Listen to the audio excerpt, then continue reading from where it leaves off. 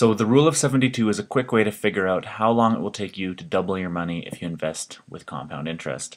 All you have to do is you take 72 and you divide it by the interest rate you're given. So say, ignoring this example for now, say that you want to invest at 10% compounded annually. All you do is you say 72 divided by 10, and that's going to give it a time of 7.2 years until your money doubles. If you can manage to get 10%, that's awesome. I say go for it. Uh, if you maybe you had 5% interest rate, all you do is 72 over 5, and you'll see that you'll get 14.4 years. Okay, what if we maybe invested at 3%? 72 over 3, that's just going to be equal to, well that would take you 24 years uh, to double your money. Alright, well let's do this example. Say you have 100 shares that you bought for $50 each and you expect them to earn 8% per year compounded annually. Uh, how long is this going to take to double? Well, we can do our first method. We can use the rule of 72.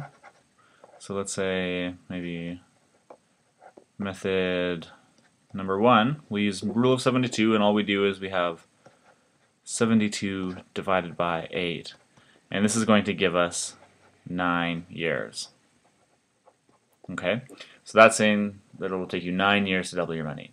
Uh, now, if we have method number two, we'll just use the future value of an investment. We have the formula is FV equals PV times 1 plus I to the power of N.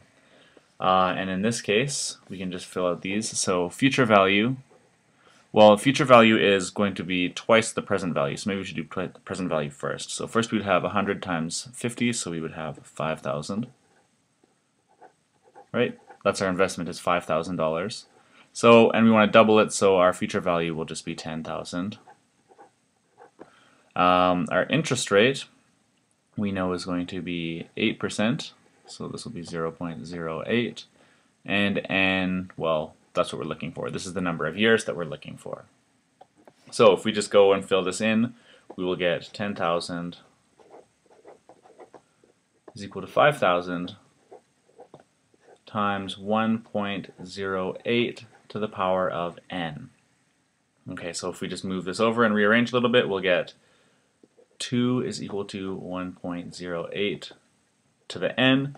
Now if we just log both sides, you get log 2 is equal to n log 1.08, right? Because if we have log of something with an exponent, you just bring the exponent down.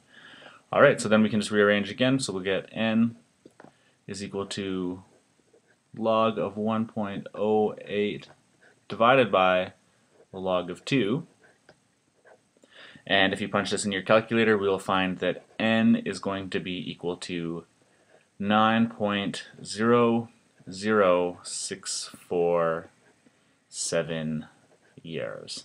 So look, you see that that's pretty close, 9 years or 9.006 years. Um, it's not always this close, but you can see that it's definitely a good approximation to be using if you just want to quickly figure out how long it takes for your money to double.